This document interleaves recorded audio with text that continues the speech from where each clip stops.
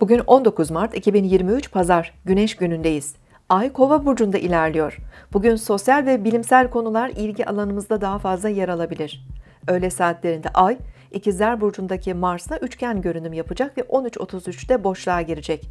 Hava elementinin güçlenmesi zihinsel enerjimizi arttırabilir ve iletişim trafiği de yoğunlaşabilir. Sosyal kavramlar, grup çalışmaları ve arkadaşlarımız günlük programımızda öne çıkabilir. Bugün çok önemli konularla ilgilenmeden rutin işlere de zaman ayırabiliriz. Ay 18-11'de Balık burcunda ilerlemeye başlayacak. Akşam saatlerinde Ay Satürn'e birleşecek. Melankolik ve karamsar olabileceğimiz akşam saatlerinde iş, görev ve sorumlulukların üzerimizdeki etkisi artabilir.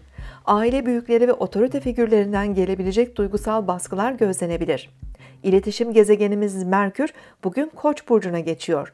Merkür 3 Nisan'a kadar Koç burcunda ilerleyecek. Değişen iletişim dinamikleriyle önümüzdeki dönemde düşüncelerimiz ve konuşmalarımız daha sabırsız ve hızlı hale gelebilir.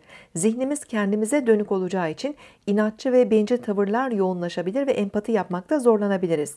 Yeni ve öncü fikirleri rahatlıkla ortaya çıkarabilir, zihnimizi rekabet ve savunma konusunda aktif bir şekilde kullanabiliriz.